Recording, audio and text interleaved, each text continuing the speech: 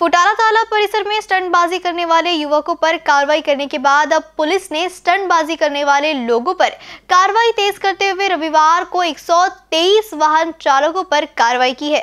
इस बड़ी कार्रवाई से फुटाला परिसर में खलबली मची हुई है। वहीं स्टंटबाजी, ट्रिपल सीट वाहनों पर कार्रवाई का पता चलते ही लोगों में खलबली और दहशत का वातावरण यहाँ देखा गया। जानकारी के मुताबिक ट्रैफ़िक परिमंडल सीता बर्डी, सदर, गिट्टी खदान अम्बाजरी पुलिस थाने के संयुक्त विधामान से फुटाला तालाब परिसर में नाकाबंदी कर स्टंट बाजी और ट्रिपल सीट चालकों पर यह बड़ी कार्रवाई की गई, जिसमें 123 वाहन चालकों पर कार्रवाई की गई और चालान कर उनसे दंड भी वसूला गया, जिसमें फुटाला परिसर में खलबली मचा दी है। स्टंटबाजी, ट्रिपल सीट, वाहनों पर कार्रवाई का पता चलते ही लोगों में खलबली और दहशत का वातावरण दिखाई दिया। आपको बता दें कि पिछले सप्ताह रविवार को फुटाला तालाब परिसर में स्टंटबाजी कर हुदंगी युवकों ने कार की रेस लगाई थी और लोगों के बीच जानलेवा तरीके से गाड़ी चलाते हुए कोहराम मचाया था। पुलिस को पता लगते ही मामले पर कड़ा रुख अपनाते हुए कार्रवाई की गई।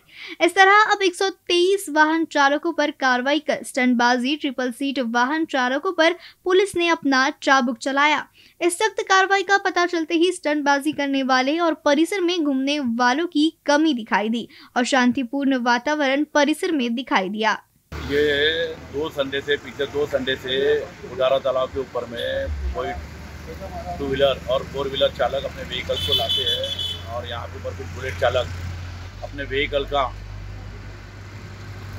बुलेट से फटाके फोड़ते हैं, साइलेंसर की आवाज़ करते हैं और ट्रिपल सीट यहाँ पे घूम के टू व्हीलर और फोर व्हीलर स्टंटबाजी करते हैं। इस माध्यम से हमने आज सवेरे से यहाँ पे नाकाबंदी लगा के रखी थी और उस नाकाबंदी के दरम्यान में आज हमने यहाँ पे जो स्टंटबाजी करते थे टू व्हीलर फोर व्हीलर और ट्रिपल सीट चालकों पर आज हमने कार्रवाई की है।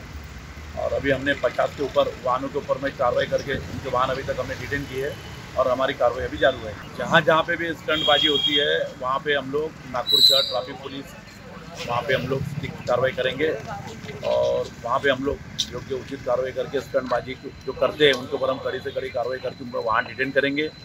और इसमें जो हम वाहन के ऊपर में कार्रवाई कर रहे हैं, उनके वाहन चालक के लाइसेंस और परमिट भी हम लोग कैंसलेशन की हम लोग कार्रवाई करने वाले हैं। इन न्यूज़ के लिए अखिलेश भारद्वाज के साथ अक्सा अंसारी की रिपोर्ट।